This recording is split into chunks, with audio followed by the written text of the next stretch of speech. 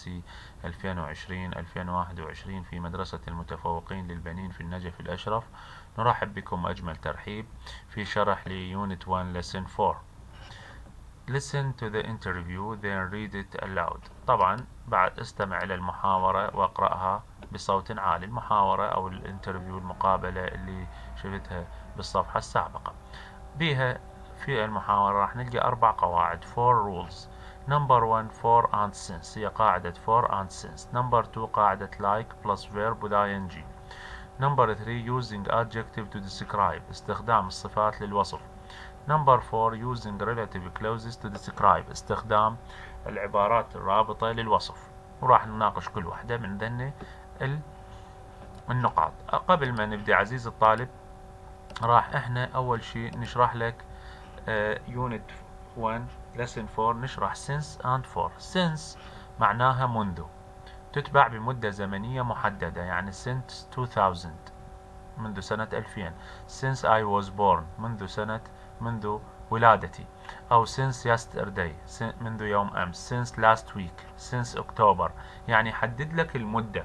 هذا طبعا since و for هنا أوضحها عزيزي الطالب بأبسط صورها. كلمة for معناها لمدة. مدة زمنية غير محددة. For 10 years لمدة 10 سنوات. For 2 hours لمدة ساعتين. لكن 10 سنوات أنت ما تعرف عزيزي الطالب ما تقدر تحددها. هل هي من 2010 إلى 2020 من 2005 إلى 2015 ما تقدر. For 2 hours لمدة ساعتين أيضا ما تقدر تحددها. هل هي من الرابعة إلى السادسة من الثامنة إلى العاشرة؟ وهكذا. إذا نرجع للكتاب عزيزي الطالب راح نلقى for and since هي القاعدة الأولى. المثالين اللي مطيهن I have lived in Ashby. أنا عشت في Ashby since I was born. منذ ولادتي. فهنا محددة. I have worked in the cafe. عملت في المقهى for 10 years لمدة 10 سنوات. وهنا هي غير محددة. تنتقل بعد ما تقرأ هاي القاعدة وتطبق التمارين إلى إجابة تمرين D بال activity book بصفحة 6 Read and complete the sentences with for and since اقرأ وأكمل الجمل بكلمتي for and since عندك أربع جمل تطبق بهن ما تم مناقشته.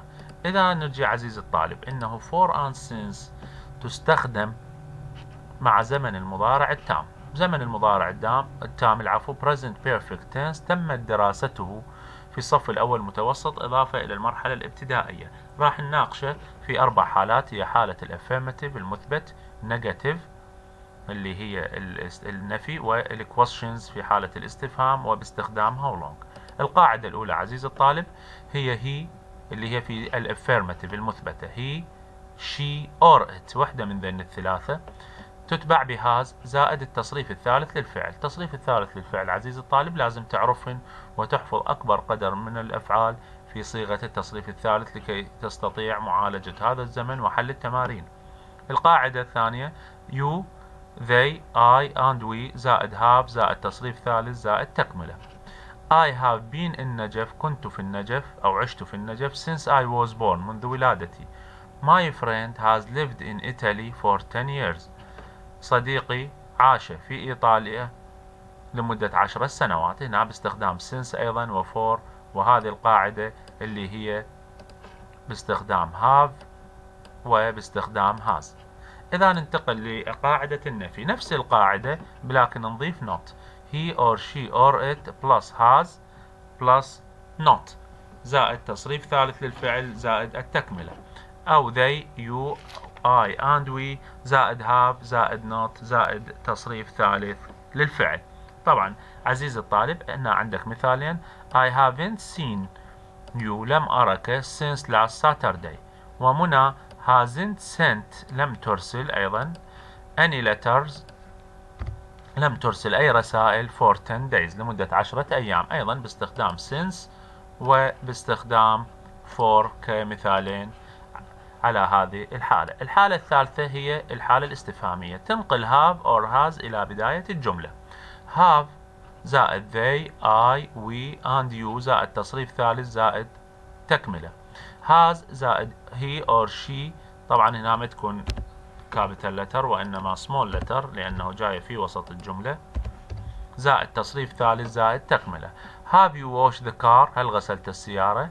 No I haven't. فعندك هنا باستخدام هذا التركيب. هنا has Ali brought هل علي جلب the shopping list يعني قائمة التسوق yes he has. هذا في الحالة الثانية. الحالة الثالثة العفو. الحالة الأخيرة باستخدام how long how long كم المدة؟ أما تجي have or has وياها زائد فاعل زائد تصريف ثالث زائد تكملة. How long has your family lived in بصرة؟ كم هي المدة التي عاشتها عائلتك في البصرة؟ How long has he gone to Paris? كم هي المدة التي ذهب بها إلى باريس طبعا عزيزي الطالب هذه قد تجيك الحالة بال reorder بالترتيب إعادة الترتيب. قد يعطيك هاي الجملة ويقول لك أعد ترتيبها لازم تعيد ترتيبها باستخدام هذه القاعدة. إذا عندك أربع حالات حالة how long والحالة الاستفهامية والحالة المنفية والحالة المثبتة. راح يكون واجبك عزيزي الطالب على كل قاعدة تكتب جملتين. في البيت وترسلها عبر أو تحضرها للصف للمناقشة حتى تضبط هذا التمرين. هذا إذا انتقلنا للكتاب عزيزي الطالب راح نجي الحالة الثانية نلقاها هي أو نجي للأسئلة ask and answer these questions. أسأل وأجب على الأسئلة التالية How long have you been in this school? كم هي المدة التي قضيتها في هذه المدرسة؟ How long has your family lived in بصرة؟ كم هي المدة التي عاشتها عائلتك في البصرة؟ How long have you been in this class? كم هي المدة التي قضيتها في هذا الصف؟ How long have you been ill? كم هي المدة التي أنت كنت بها مريضا؟ ill هي مريض. نجي للحالة الثانية هي حالة like زائد فعل في حالة لا ing. نجي نشرحها عزيزي الطالب. هذه القاعدة تتكون من فاعل subject زائد like زائد فعل في حالة ال ing زائد تكملة. I like playing football. طبعا عزيزي الطالب بالامتحان قد تجيك إنه playing هي الفراغ قد تجيك فراغ.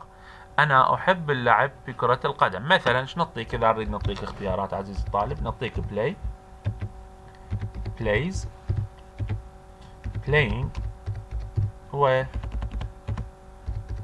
played. هذه تجيك عزيزي الطالب فراغات وتختار واحد من عندهم.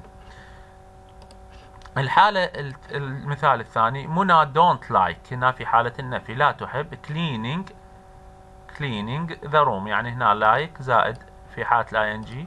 ومنى don't like cleaning her room. لا تحب أن تنظف أو العفو هنا منى doesn't like لأنه مفردة doesn't like cleaning her room they like eating pizza هم يحبون أن يأكلون البيتزا in the cafe إذا نريد ننفيها نقول they don't like eating pizza in the cafe أيضا like زائد eating اللي هي فعل في حالة ال ing plus ing وإذا نرجع للكتاب نلقى like verb with ing I like cooking أحب الطبخ I don't like cleaning up لا أحب التنظيف إذا ننزل إلى هذا التمرين Now ask and answer questions like the ones in the interview اسأل وأجب على أسئلة كالتي موجودة في المقابلة You can use the words and the phrases in the boxes تستطيع استخدام الكلمات والعبارات في الصناديق اللي هي هذه You can also use your own words. تستطيع أيضا استخدام كلماتك. نجي.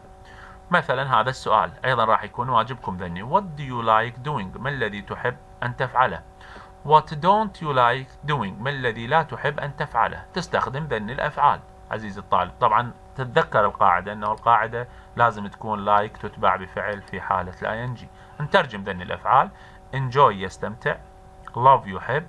Hate يكره. Playing football. يلعب كرة القدم و watching films يحب الأفلام.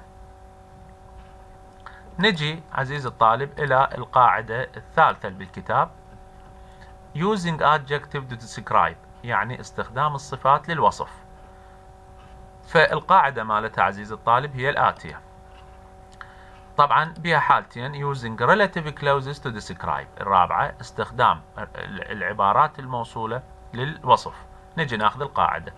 أما فعل العفو فاعل subject اللي هو plus like اللي بعدها like تتبع بلايك هنا.